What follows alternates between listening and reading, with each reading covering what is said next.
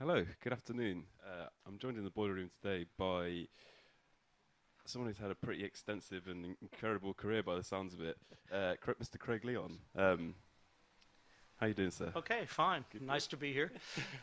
it's a man, he's a man whose uh, career spanned some pretty uh, interesting corners of the mu- music industry, from going working with people with a label called Sire Records and yeah. breaking people like Blondie and the Ramones to producing movie soundtracks for like Karate Kid to all sorts of stuff. Yeah. Yeah, and now now working in quote unquote classical, and uh, spanning some electronic. Uh, classical music as well over the over the years, which now I'm putting the electronic and the classical together, which is an, an interesting thing. But it's uh, he's got a release coming up soon on a record label called Revenge International, which is a reissue of two of his early albums. Uh, well, one, one's a re-recording and one's a reissue, yeah. but yeah, but it's basically a 1979 album redone and a 1981 album put yeah. put together. Yeah. So, uh, shouts to Matt for hooking this up.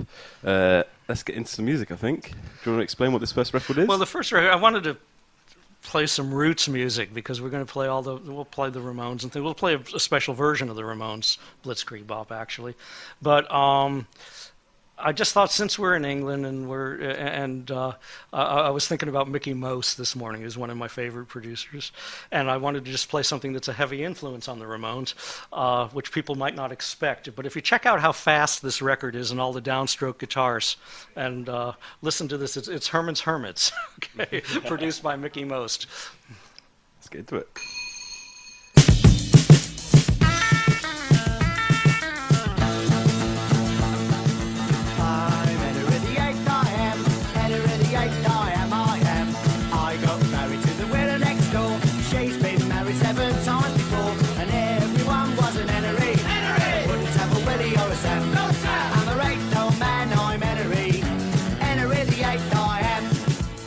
Now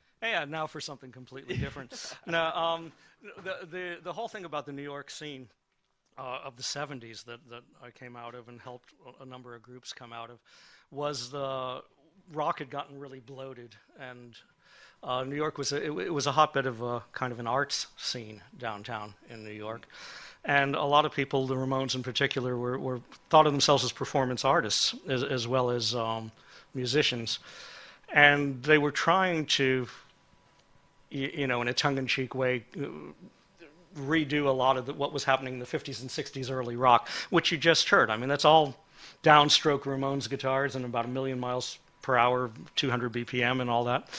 And so when we first did the Ramones album, we, we had uh, the first one. I had a lot of difficulty deciding how to actually present them because um, the, the biggest problem that we had actually was learning, getting them to all start and stop at the same time because their original gigs was just one long song that ran into each other. So after we sorted all of that out, it was then how to, how to, how to present them. And we did a conventional rock and roll mix of it when the album was done. And uh, we, we had like a weekend to mix the whole thing. It was like four or five days altogether to do the whole record in, in, in spurts. But then um, we, uh, it, it, we, the band and I, and the engineers, thought that that was pretty conventional. It wasn't any good. So I said, well, look, if they're really loving Herman's Hermits and Eddie Cochran and all of this stuff, let's just do a mono record. You know, it'd be really great. So we did a mono mix, which to me is the best version. Uh, the label that we were distributed by at Sire, the the big label, wouldn't put out a mono record, saying it was too old-fashioned. So we immediately went back and said, oh yeah, we'll do a stereo version like the Beatles' Hard Day's Night with stuff all split left and right and, and far, which is the one everyone knows. But if you play this one, th- this is the original mono of Blitzkrieg Bop. It has less effects on the vocals, uh, but it still has the John Lennon spin and everything on Joey's voice. But um, t- take a listen to it. It's really How, how much of the whole stereo aspect was just fashion at the time? there was no fashion at the time. We thought we were going to make a radical statement Right. uh, because nobody would have thought to do it. It was almost impossible to master it. But uh, thanks to a guy named Greg Calbi, we did master it and master it very loudly. Um, but the, the, the, the mono actually sounds quite a bit louder. So um, yeah. Let's play it.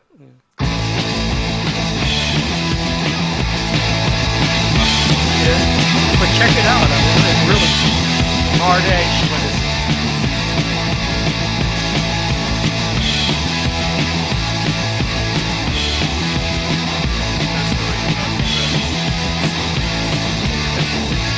That was, yeah, I'll tell you about it. Oh, let's go!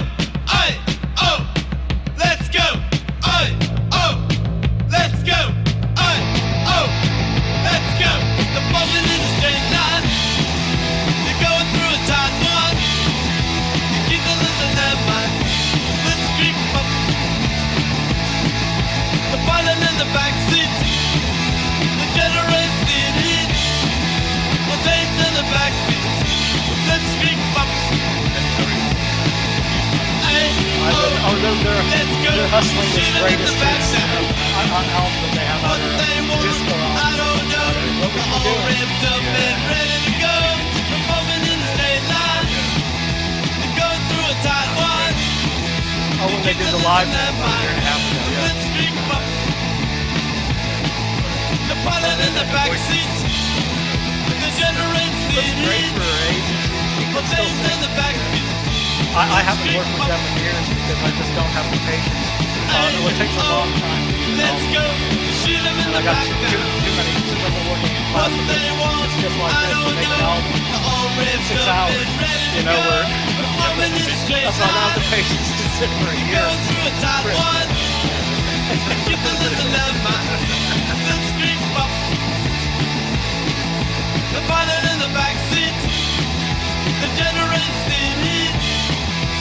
What's in the back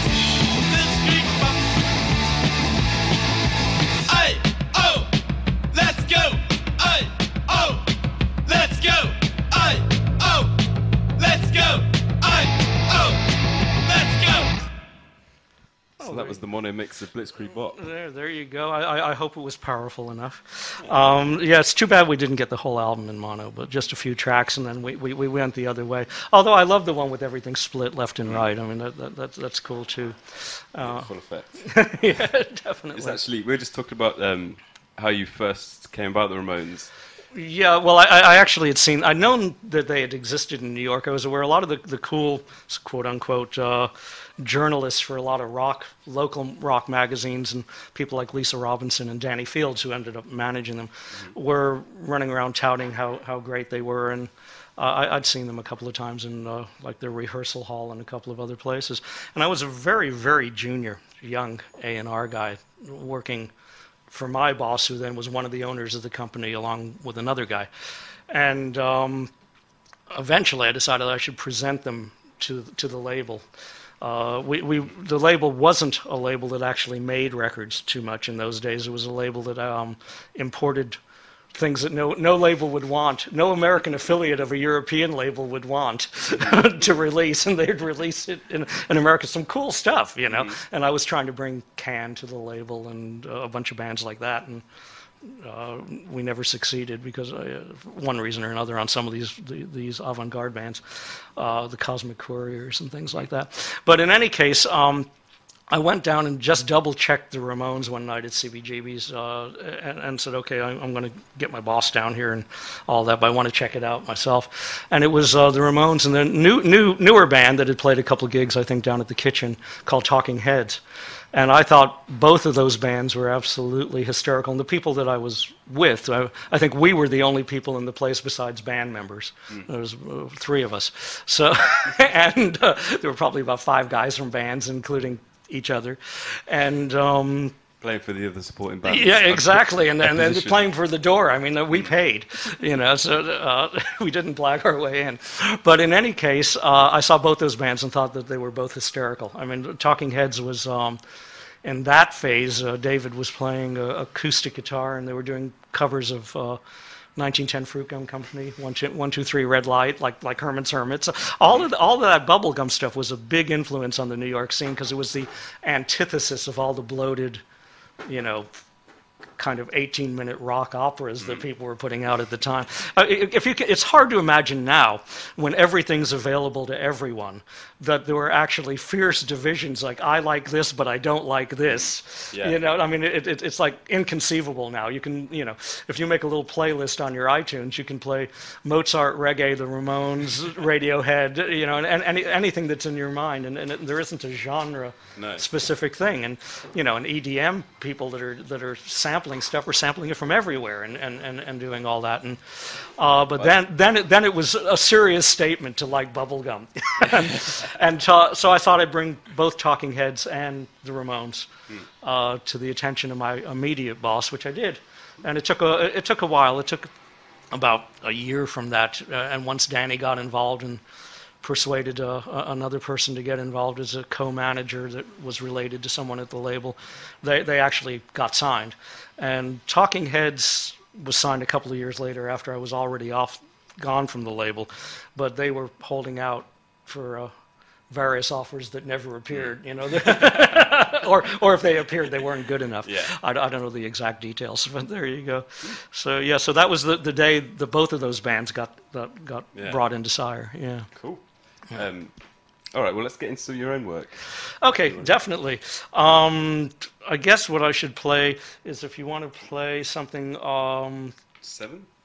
Well, you can play seven from this. Is an, it, it's an excerpt from uh, a, a thing, an album I did called Nommos.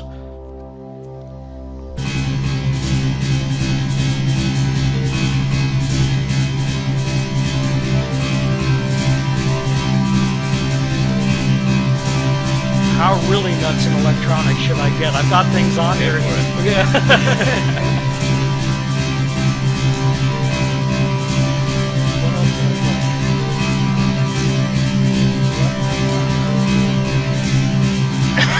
I should play something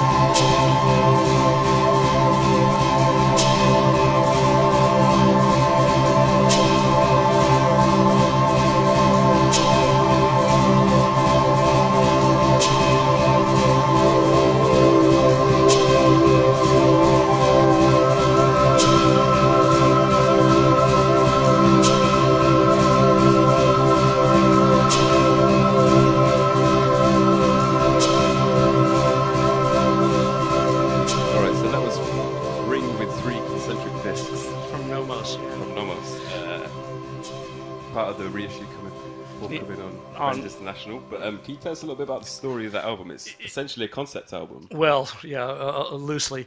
Um, and you remember back, th- th- this was originally done in the 70s, which you got to bear in mind.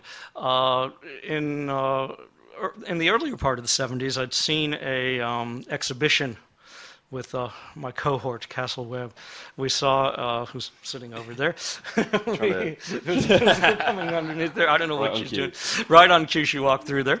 But in any case, um, we, uh, we, we saw an exhibition of art of a tribe in uh, north, northwestern Africa that uh, had a very interesting uh, kind of like, I would say, uh, creation myth, like very similar to some of ours about angels that came from uh, a faraway planet and taught them civilized, civilized things and how to live in civilized groups and grow crops and et cetera, et cetera, and had a very distinct uh, religious dogma that they gave to them as well. And that, that's kind of interesting. You see that in every culture. But what was unique about this particular one is A, they were obsessed with uh, creating artistic representations of these creatures or beings. Uh, and two, they, they, they seem to know exactly where they came from. They, they, uh, in, their legends, they, they said, uh, you know, when people first found this tribe in the 1800s, and so they said, well, we, we have these beings from another planet who did this and this and this, like I said, and they came from over there in the sky, and they draw it on the ground. Uh, and they came from, and here's the part which is baffling. They said, they, well, they came from a system that has two stars, a dead one and a live one that revolves around itself. The planets revolve around the live one. These guys are from X planet around the live one. And they said they came here, and it took many years for them to come in their fire crafts and everything to, mm-hmm. to reach us. So I said, well, that's interesting. Nobody thought much about it until telescopes actually looked at what that system was. People knew the system was there, but they didn't know what it was. And indeed, it was exactly as they described it thousands of years before. And uh, at the time when they said they came, they, they, they had the exact position in the night sky when it did come from that part of the world. So we thought, well, that's, that's pretty cool, you know. but, but, but what's even better is that they, they were obsessed throughout. Uh, you know their entire civilization all their art is representations of these beings called the Nommos who are large tall uh, and thin and amphibious creatures that can live in the water uh, or not. They obviously come from a totally different environment. So we figured, well, if they brought a lot of stuff with them, they brought music as well. So um, I, I, in a tongue-in-cheek way, kind of um, created a, uh, a- musical system for them, which had repetitive drum patterns that were reminiscent of the, the, the tribal music of that uh, area. It's, it's not an attempt at making a world music album copying those things. And also um, creating scale systems that were like the very primitive uh, five tone scales and, and less that you would find in, in the earliest uh, civilized music. And then making it sound really weird because these guys came from another planet. So uh, that, that's what you just heard was one of the, one of the tracks off of that. And um, pretty much that that was it. It, it was released in uh, originally, not that version, but, but the, the original version was released in 1979 or 1980. And um, now on RVNG is finally it and a follow-up album, which we'll play a bit of, um, are finally, which actually correlates to the original album, originally supposed to be all together. Uh, the on the RVNG uh, release and also on a CD, Harmonia Mundi, called Craig Leon Electronic Works. But if you're a vinyl fanatic, the RVNG one is exactly correct. That's the right one. Yeah. Yeah. You actually re-recorded. I recorded the Nommos one due to a whole lot of contractual insanity, uh, but but uh, which I'd rather not get into. But Yeah. but in any case, somebody somebody has reissued the 1978 or 9 one. Uh, they. They, they remastered it, wouldn't allow me at the remastering, and said they had the best remaster in the world, the remastering facility in the world, and they got it completely wrong, which is hysterical. So uh, beware of the best remastering facility in the world. know, it's happened on a number of things. If you if you heard that Ramones thing, how powerful it is when they have it quote unquote remastered by experts, it loses all of its uh, original intensity. But um, Okay. Let's hear it as it's supposed to be heard. well, this is this is from Visiting, which is the correlating track to the first one you heard. This is 100 Steps.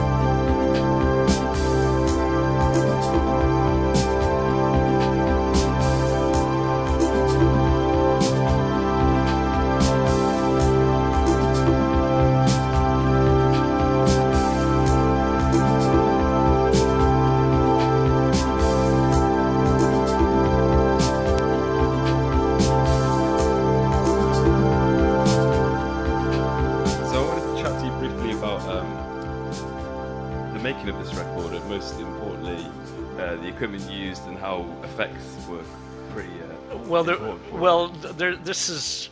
I used a lot of effects. Well, the effects weren't at, at the time this one was made, in particular. Uh, there was very, very little effects that were actually available. We had, you know, basically a couple of different kinds of reverbs and a couple of different kinds of harmonizers and, and d- delays, and tape tape effects and whatever you could think of in the studio. Um, I'd used a lot of the the one main effect uh, that isn't on these is uh, is kind of the dub Jamaican effect. I'd, I'd done a, a, recording with um, Lee Perry and Bob Marley, uh, and it's one of the, my favorite co-production credits, produced by Bob Marley, Lee Perry, and me on, on, on an album. I mean, I think that's absolutely brilliant. Uh, but uh, that when when I was involved with that record, I really seriously got into the Jamaican dub mm. thing. Which were you, were you, in Jamaica at that time? I was in, Jamaica, but the, pr- primarily a lot of the recording was done in New York. Mm. But, but, because at that time Bob had um, become really super popular all of a sudden overnight yeah. kind of kind of thing. But I, I, I had a load of, of, of dub records and Tapper Zukie and things like that that, that, that I brought back and uh, and of course hanging with Lee and, and all the percussion effects and all of that. Uh, I didn't apply that that much to Nommos. Uh, Nommos is primarily electronic, and visiting is, it's, it's, in fact, it's all electronic. Uh, the, the only real effect that's on that is um, that kind of watery effect that you hear on things, which is um, an overmodulated um, old Eventide harmonizer with a feedback control and feeding back things onto themselves and everything.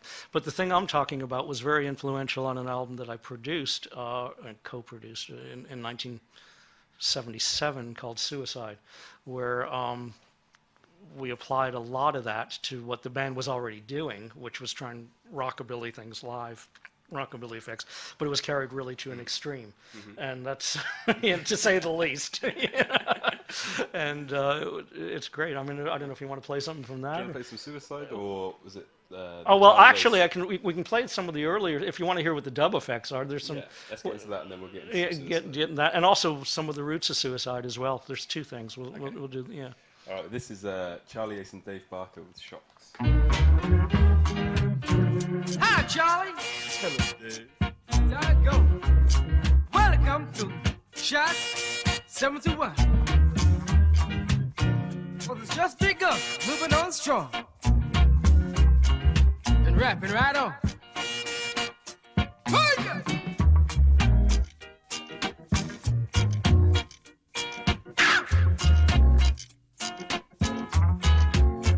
Running all over.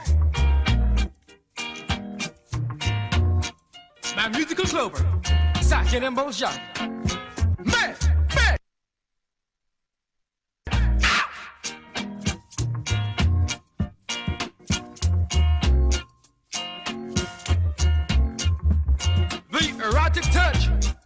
That's a little example of what we were talking about. Yeah. uh, and then that, so that influenced. That influenced a bit of suicide. That, that, that's not as radical. We, of course, took it to another level, similar to what, what happened with the Ramones to Henry VIII. But uh, actually, there was a New York band that was influential on suicide, although they may not claim it, but the, it was, uh, called Silver Apples.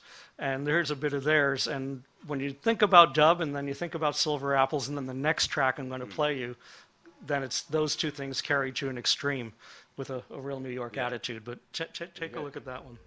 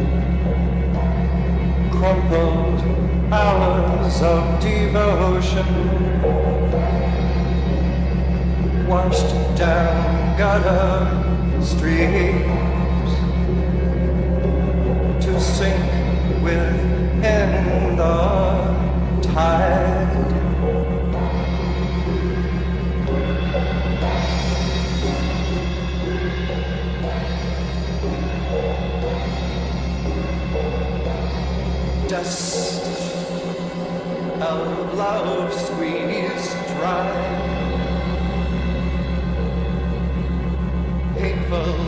Fingers strangle joy.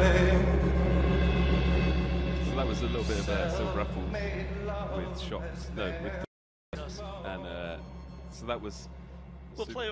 We'll play a bit of a couple. Those are again, you, you have to th- stretch a little bit and think about it, but musical influence and get developed into something else. Uh, I think uh, probably the, the the the track that everybody knows "Suicide" for uh, is Frankie Teardrop, and we'll play a little bit of it. We don't have time to do the whole thing, unfortunately, but it's the same. Those effects carried to extremes that you heard on those other two records.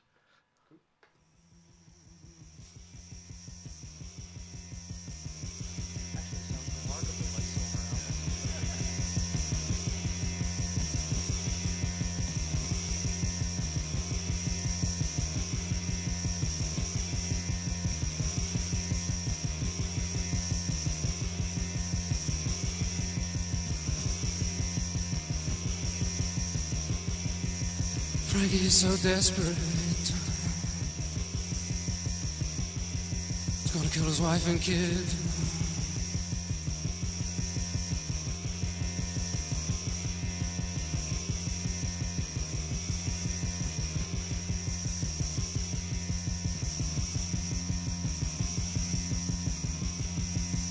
Frankie's gonna kill his kid.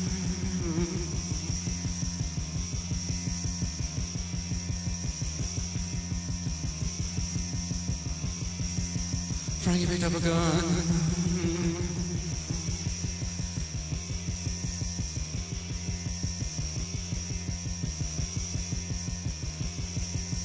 Pointed at the six month old kid in the.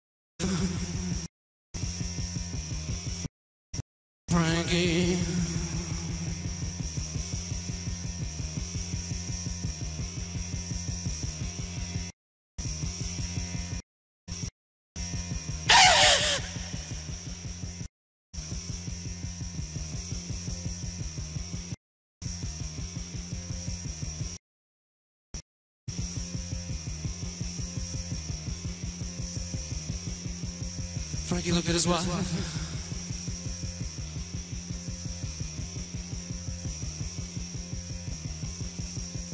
Shut, Shut up.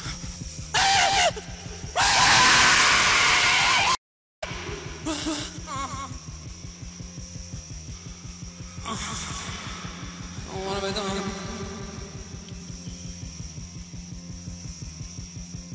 Let's hear it for. Frankie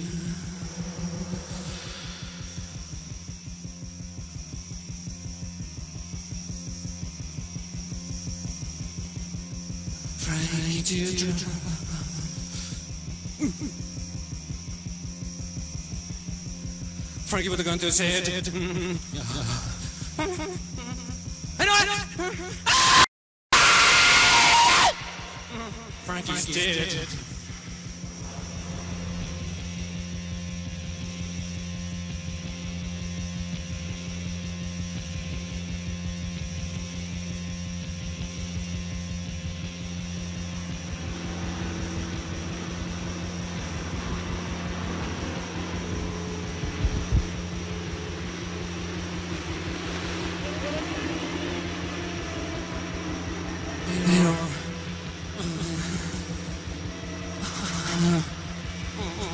Frankie's lying in hell.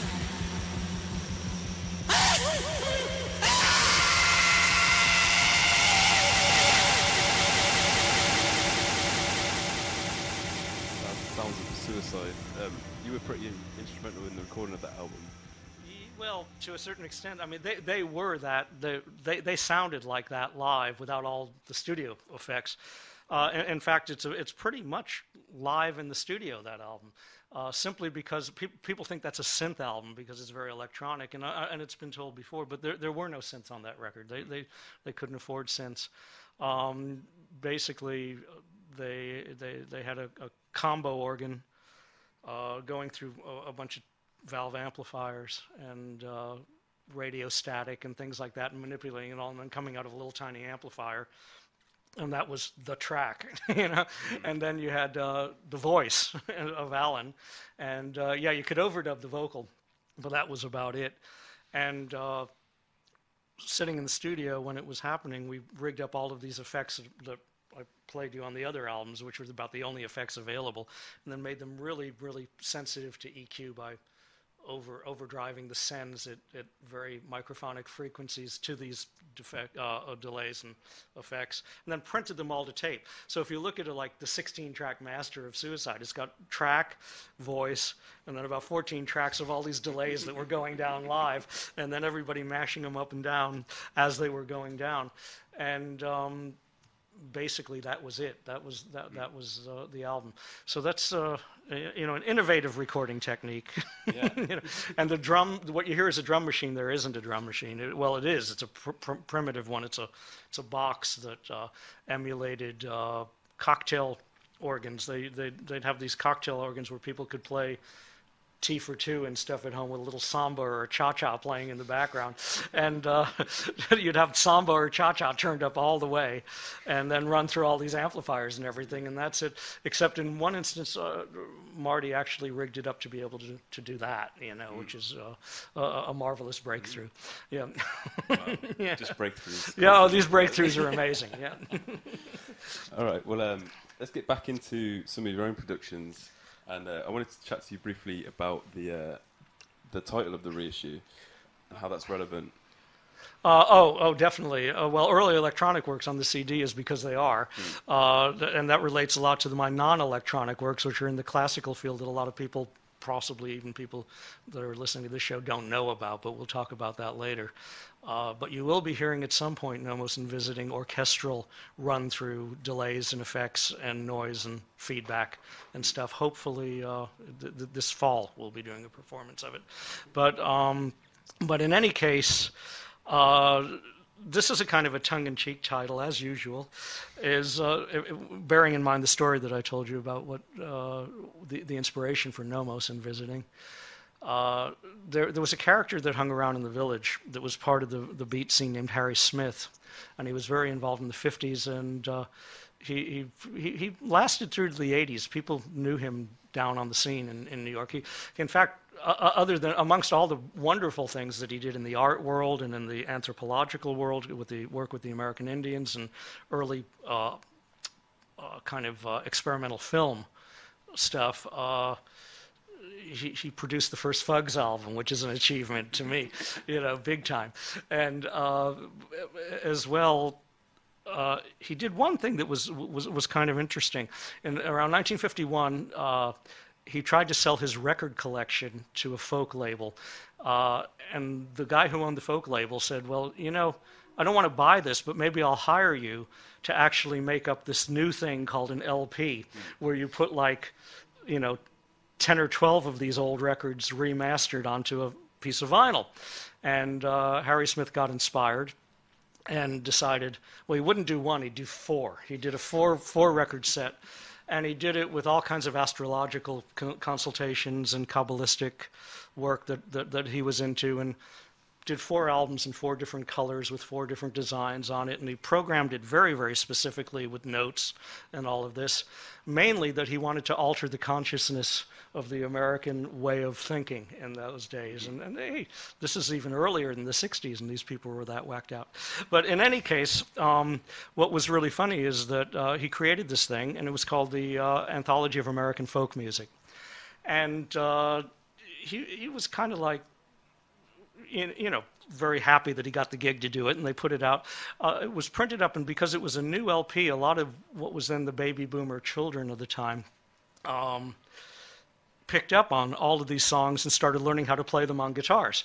And these were people like Bob Dylan, Joan Baez, Phil Ochs, all the people that also espoused this kind of left wing attitude that um, Harry Smith had, which wasn't particularly left wing. It was just that basically all people are equal, and that we have uh, all these songs by black people and white people. And if I'm playing them for you on this record, you don't know what's black arch- archetypally, and you don't know what's white. It's all everybody's music. And that sort of became the slogan that carried through, and all these people with, that carried it through into the, um, you know, race relations, uh, conflicts that had happened in America in the 60s and all the protest singers and the anti-draft and all of that. A lot of it stemmed from the attitudes of these songs. So, so Harry actually did make an impact more than, than he might think. So this is my prequel, which is the anthology of interplanetary folk music. Now, now Harry Smith had been uh, quoted as saying back in the 50s, if if this thing is done right, 50 years from now, we'll have a black president in the United States.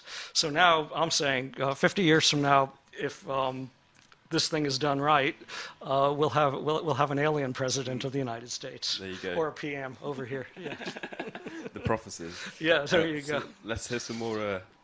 Th- This, this is a couple of things segueing between each other from visiting. If I, I don't know how to do this, but there you There go. go. Okay, just hit start. Yeah. yeah. some more interplanetary funk. Yeah. Both you can have yeah, hey, they have drums.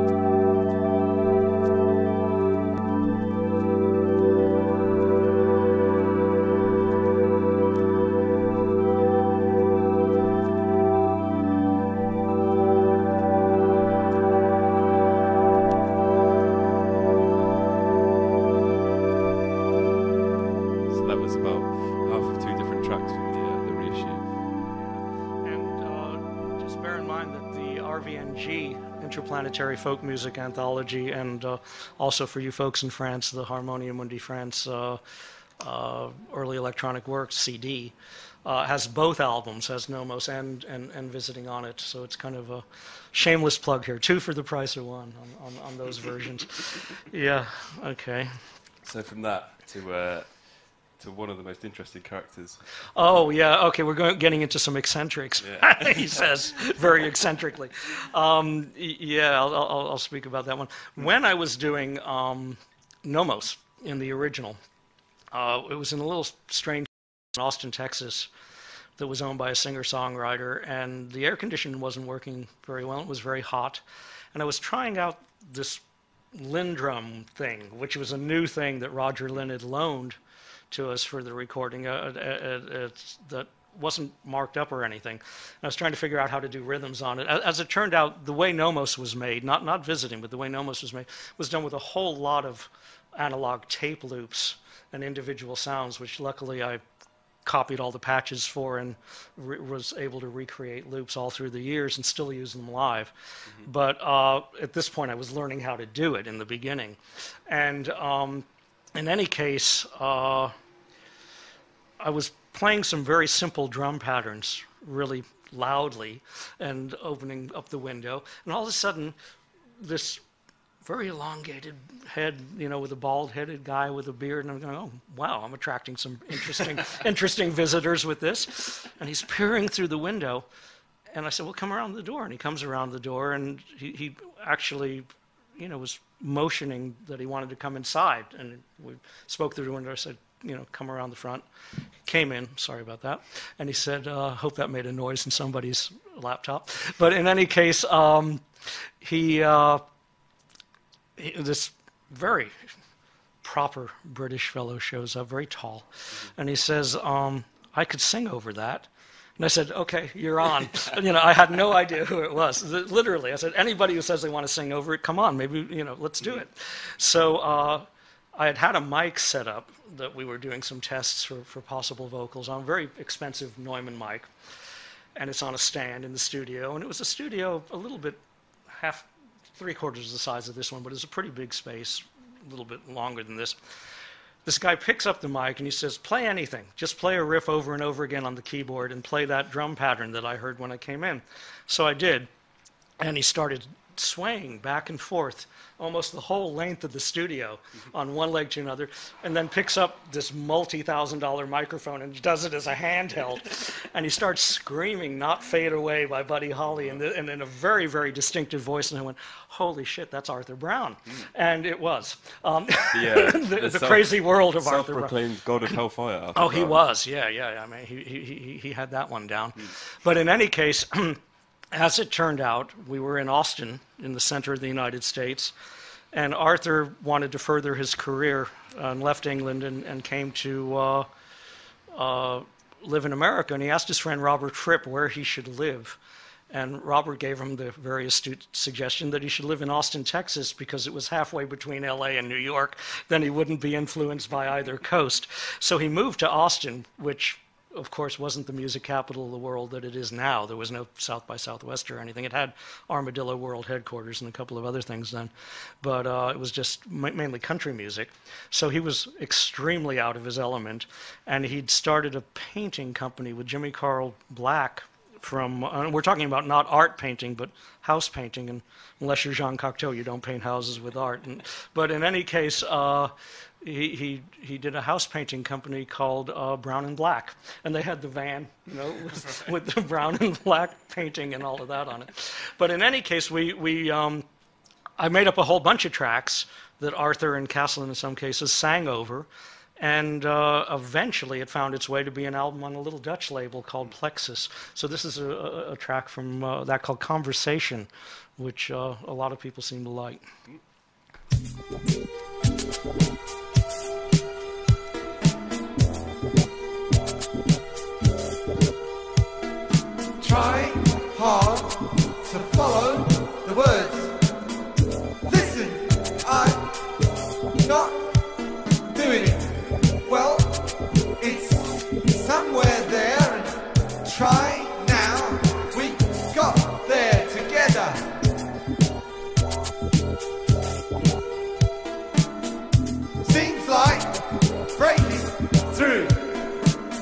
Well,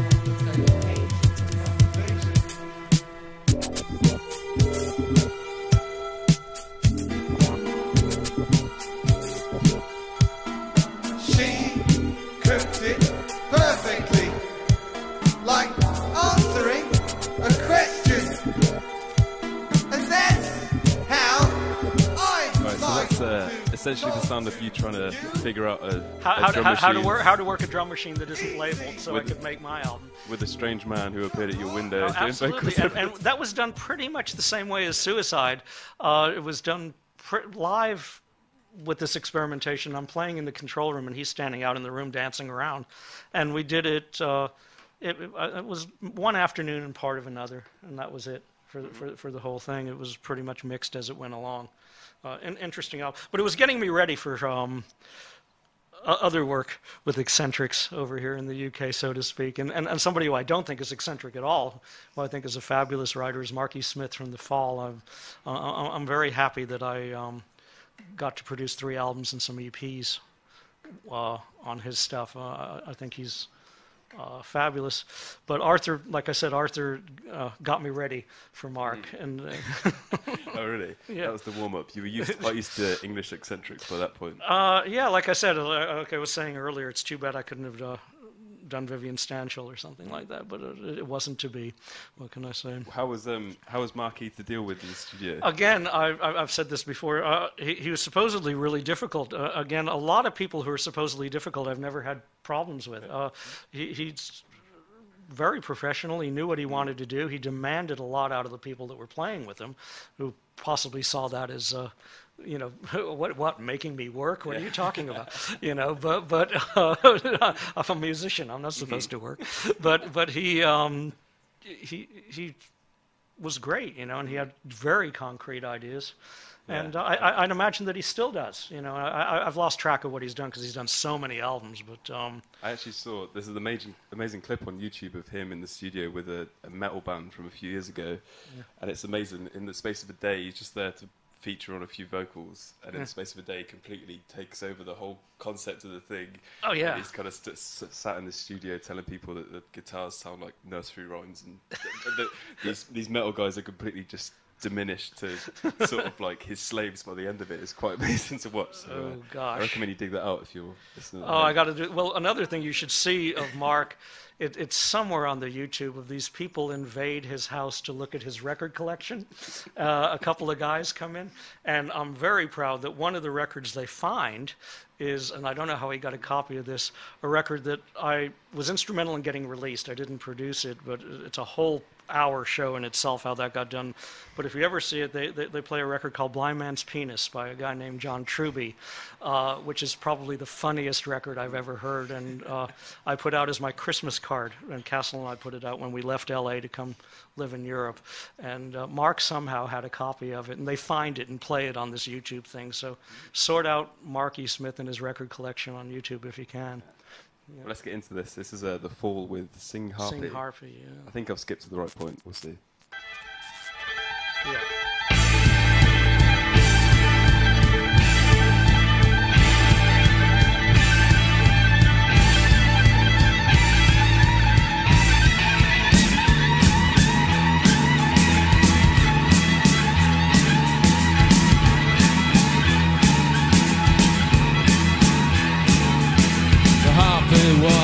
Tops, head contained some red.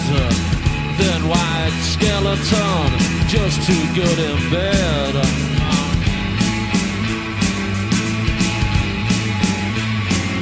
Uh-huh.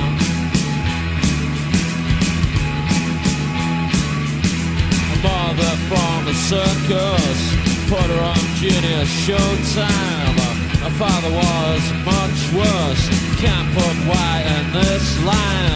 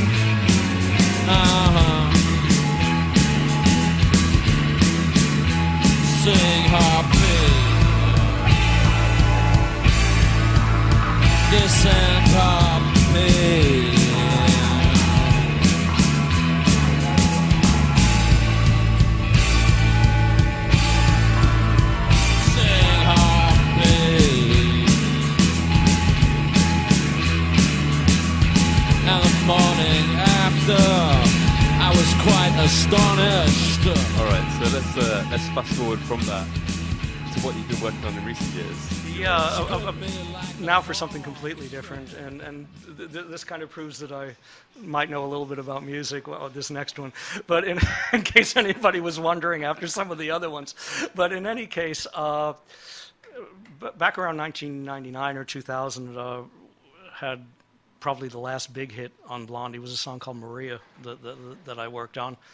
And afterwards, I thought it might be time to go back to the day job, which I, I was trained in quote unquote classical music and uh, organic instrumentation and orchestration and all, all, all this sort of stuff.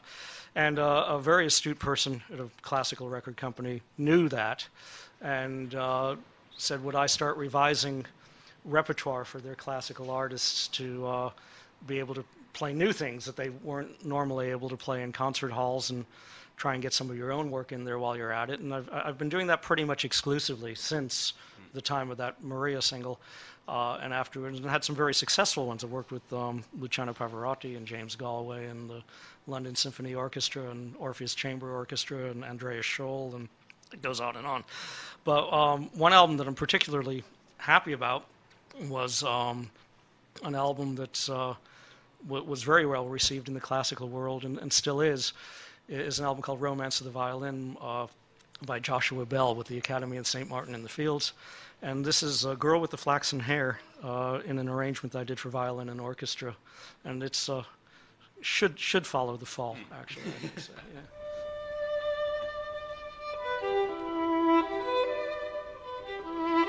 So that would be